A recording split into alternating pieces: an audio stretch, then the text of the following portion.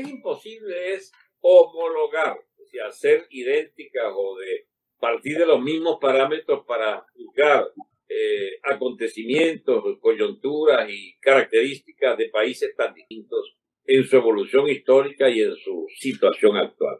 Yo diría que en algunos aspectos eh, Cuba tiene enormes ventajas para recuperarse, cuidados y más que Venezuela.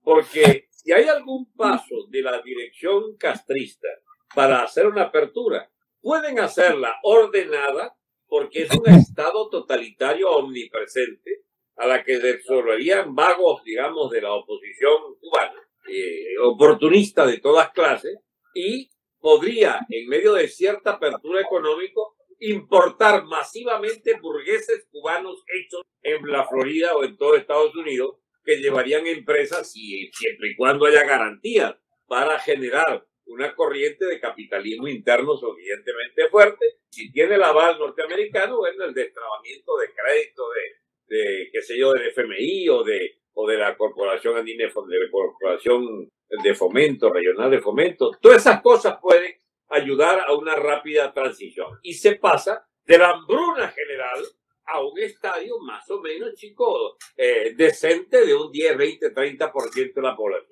Venezuela no puede tener esa suerte, porque Venezuela es un estado pulverizado por el AMPA política y el AMPA social.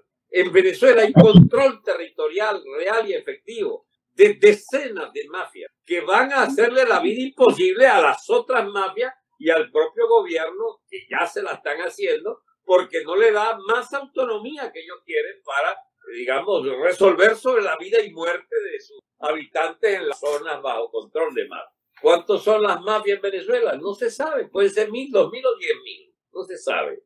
Hace ocho días perdíamos el estado apure completo a manos de la banda de la FARC de Gentil Duarte parece que tuvieron que mandar para allá como 10.000 soldados para tratar de recuperar aquello, pero eso estaba perdido. ¿Y por qué está perdido? Por el nefasto pacto de Maduro con la FARC de Marquetalia, con la FARC de, de Marque, Iván Marque. Y bien, en lo llamado el arco minero, que sería la única actividad económica importante que puede procrear un renacimiento económico de Venezuela, exportando masivamente dentro de un marco legal una cantidad de minerales que necesitan en la economía mundial, pues está en manos de AMPA todo eso, y del AMPA de la FARC y del AMPA del ELN en particular. Entonces, no es verdad que nosotros tengamos una situación favorable por el hecho de que exista una mafia chavista que por inercia sigue hablando pendejera de elecciones y de libertades de partido y de que Europa la ayuda y no sé qué vaina. Porque en realidad la realidad más importante que hay que tener presente es la del Estado. En Cuba hay un Estado todavía, aunque sea piltrafa totalitaria y de genocida, existe un Estado. El Estado Venezuela está, ha ido estallando y se ha convertido en una federación de mafias que controlan la población, los negocios y la fuerza productiva de cada zona y sobre todo la seguridad a manos de ampones y sus cuerpos armados. Eso es más grave que lo que pasa en Colombia si hubiera un estallido, porque habiendo unas Fuerzas Armadas unidas y con una misión de Estado, de preservar el Estado, Colombia puede iniciar una cruzada interna de barrer esta mundo izquierdista, este, prochavista o castrista o del ELN y la FARC y reconstruir el Estado colombiano con una dirección lúcida que todavía puede quedar. Este, el caso de, el caso de, los, de Nicaragua es distinto. Es un país con unas Fuerzas Armadas íntegras, sandinistas, de obediencia estricta al Frente Sandinista, a la que le capituló la dirección capitalista o proburguesa o como la quieran llamar, de los, eh, no, de los no sandinistas, empezando por la señora Chamorro. Tan es flexible que los tipos toleraron gobiernos en aquella transición fallida de este alemán, la Chamorro y el otro. Recogen otra vez el proceso legalizan la piñata sandinista, el haber convertido a los militantes sandinistas en los propietarios sustitutos, propietarios de la tierra, de la industria, de las mansiones, de la, de la tierra nicaragüense. Incluso la propia diplomacia americana los medio toleró allí, con haciéndolo integrar los pactos económicos de América Central favorecidos por el, por el, por el sistema del comercio norteamericano en su conjunto. Y ahí está entonces, en toda su crudeza, la maldad intrínseca de esos bicharracos del FMLN, del FSSLN, pero que han logrado mantener una estructura de Estado detrás de un, de un, de un ejército que reconstruyó el Estado del Estado nicaragüense, liquidando el viejo Estado somocista y constituyendo un nuevo Estado con unas Fuerzas Armadas y policiales que hacen coherente aquella mugre totalitaria del sandinismo. Son tres situaciones distintísimas. Por eso no es verdad, a no ser que haya una ofensiva continental un enorme cuerpo expedicionario de parte de una fuerza, eh, digamos, ductora desde Estados Unidos, aliado con cuerpos o partes de ejército de nuestros países, imaginarse una solución para Hispanoamérica es complicado, porque el tema es reconstruir los estados. En el caso de Venezuela, en el caso cubano es sustituir el estado Chávez, sustituir el estado castrista por un estado nuevo, prácticamente edificado con instituciones que se lleven desde Florida en la economía y en las institucionalidades jurídicas, etcétera, etcétera. En, en Nicaragua parecido al caso cubano y en Venezuela tiene que ser luego de liquidar esa clase militar delincuente del narcotráfico hecho Estado en varias zonas disímiles del país, todas bajo control delincuente. Son situaciones distintas. Entonces, ¿qué es lo que podemos nosotros auspiciar? Que se entienda que la mugrienta dictadura venezolana se va a llevar los cachos a Colombia, que es la vecina, y que si Colombia no interviene, entonces también se llevará a Brasil, porque tendrá suficiente descomposición o carga de descomposición en la región para hacer de Brasil y de Colombia, digamos, lugares de contagio del SIDA chavista, del SIDA madurista. Y bien, ¿cuándo es que van a intervenir? Ellos decidirán. Ya nosotros nos liquidaron hace tiempo, como país, como nación y como Estado. Ahora viene la, la, vida del Estado colombiano y del Estado brasilero más adelante. Mientras tanto ya se están ocupando de Perú para hacer la liquidación completa de Perú. Parece mentira, pero estas cosas tienen también conexiones en Europa.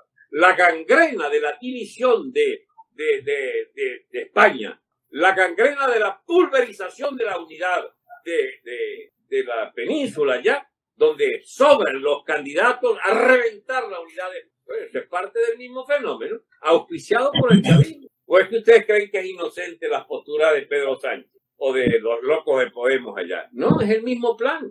¿Y con quién se articula? Con el señor Biden y el Partido Demócrata, que es lo que está explicando siempre Godo. Esta dirección es nefasta a nivel mundial y a nivel mundial tiene consecuencias enormes.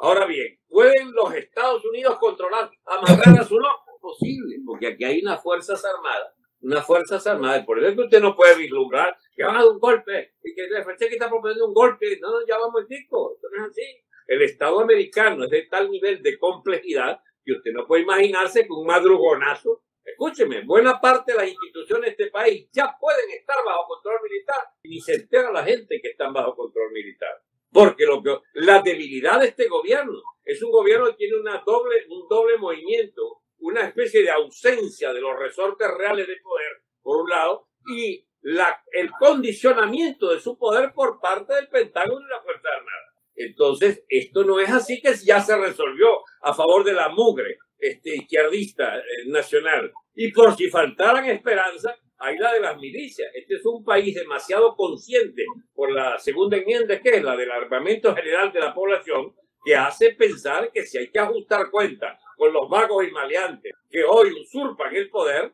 pues los va a ajustar la nación norteamericana. Solo que en la flexibilidad de un Estado federal como este y en los consensos que se han edificado a lo largo de dos siglos para hacer de esta economía una economía que sí, depende del gobierno, que la condición, etcétera, pero donde hay una iniciativa capitalista impresionante para seguir a flote. No hay un fin cercano de una crisis, de un acabose económico norteamericano. Eso no es así. Hay debilidades políticas que se han abierto en el último periodo, pero hay también un proceso de recomposición interna al que apunta Trump y apuntan todas las fuerzas sanas desde el Partido Republicano y hasta una mínima parte del Partido Demócrata. Ese es un proceso que está frente a nosotros.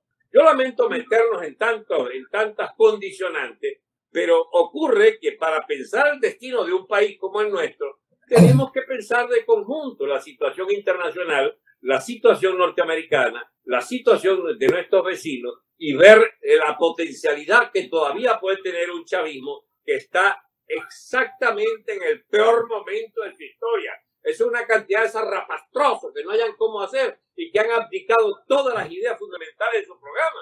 El socialismo donde está en Venezuela.